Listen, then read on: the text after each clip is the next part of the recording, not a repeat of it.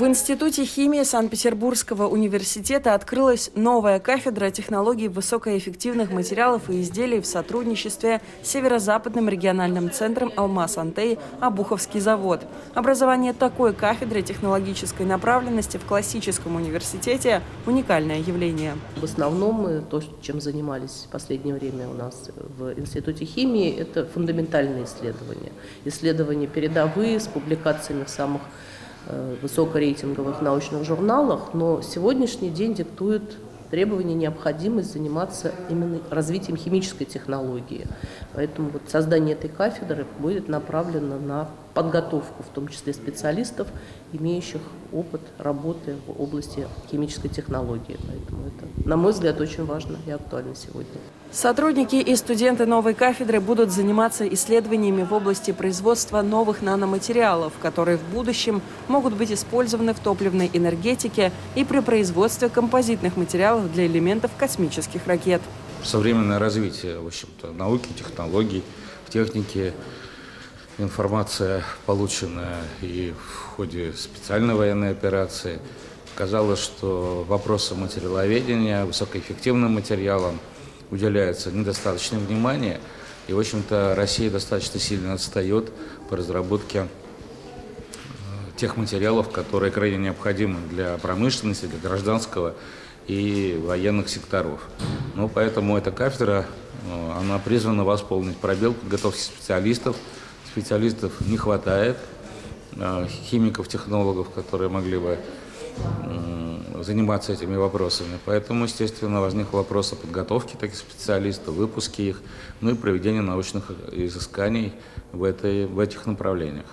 Петербурге у концерна «Алмаз Антей» уже есть базовая кафедра в Балтийском государственном техническом университете военмех, и в скором времени такая кафедра появится в Политехническом университете. Если университет захочет, мы готовы э, будем обращаться в правительство для того, чтобы э, все специалисты, которые выпускают, были по государственному заказу, готовились за счет денег государства и направлялись к нам на работу.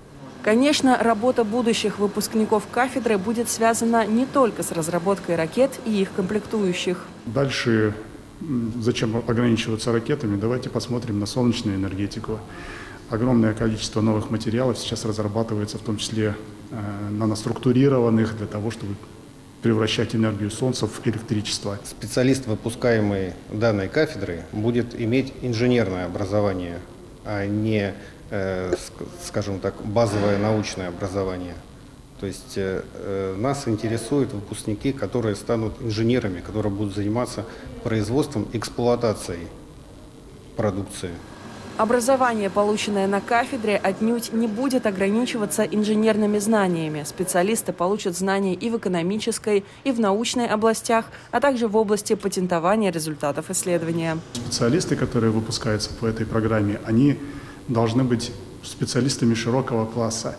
И в том числе не только уметь разрабатывать технологии и применять различные методы, но и уметь руководить группами, как малыми, так и достаточно большими, уметь руководить проектами по направлению нанотехнологий, уметь э, э создать заявку на проект, выиграть ее, и потом провести проект от самого начала до конца, вплоть до эм, защиты авторских прав в виде патентов. Первый набор студентов на кафедру технологии высокоэффективных материалов и изделий Института химии СПБГУ будет осуществлен в следующем учебном году. А пока задача организаторов кафедры – оснастить лаборатории и учебные аудитории всем необходимым оборудованием. Мария Полухтина, Глеб Шитин, Евгений Горяев, Алексей Чубко, медиацентр СПБГУ.